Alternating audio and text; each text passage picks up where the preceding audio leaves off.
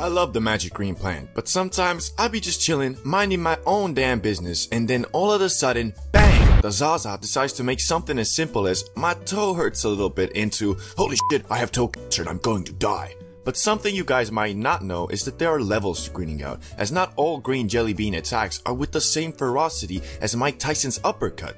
Sometimes it can be just a small jab that knocks you down, so let's start out with the Jake Paul special. Level 1. Uh, whatever. This is the initial level where you start to suspect that something could be wrong. You might have dove deeper into a bad thought than you would usually, or you find yourself thinking about a subject outside the one being discussed quite intensely.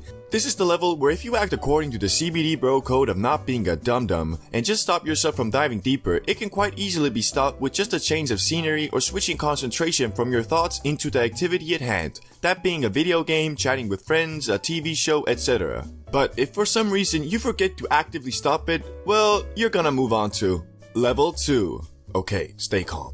So you didn't stop the mighty green out when you had the chance. Well, now you've dug yourself much deeper and it's gonna be a lot harder to come out of it, although still not impossible. At this point, if you're with a group of friends, you are only replying to them because that's what you would normally do, but in your head, you are fighting demons. Not the devil himself yet, but it's still quite the battle. Yet at this level, you are still able to keep your composure and haven't ruined the group's vibe by being like, Holy shit guys, I'm, I'm freaking out, I, I need to go home. Cause you know, if you were in their shoes, that would totally kill the vibe. But if you don't manage to crawl out of this hole, you will go straight to level 3. Game over, man.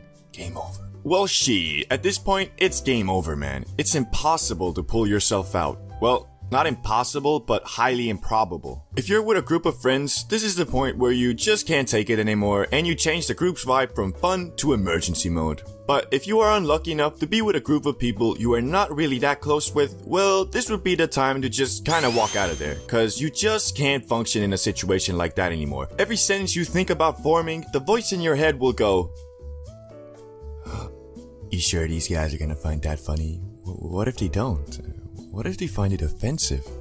What if they kill you for it? So yeah, at this point, she is too extreme to handle in a situation like that. But it gets even worse at level 4.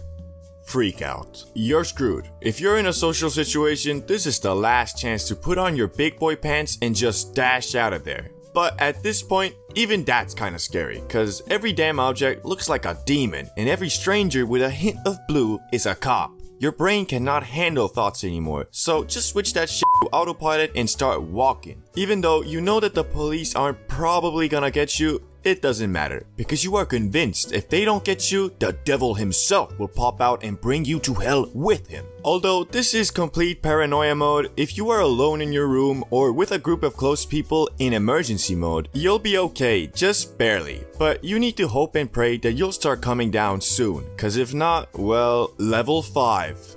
I am going to die. Like, no kidding, I'm going to die 100%. The last and final level. At this point, you were 100% screwed. There is no pulling out anymore. All you can do is wait for your high to dissipate and just crawl up in a ball until then. You have convinced yourself that whatever it may be that started all this is the actual end of the world. Like no cap, sometimes Zaza just doesn't like you and convinces you that the end is coming. No amount of persuasion and calming down from your friends will help you now. So they probably just left you in the corner while they went to enjoy the high. Only thing you can do is drink water and run around to sweat the THC from your system. And if you're lucky, you might make it back to Yodiland before the day is over. Until then, it's the trenches for you. Oh, and if you want to learn about the different types of greenouts, click the video on the screen. See you there.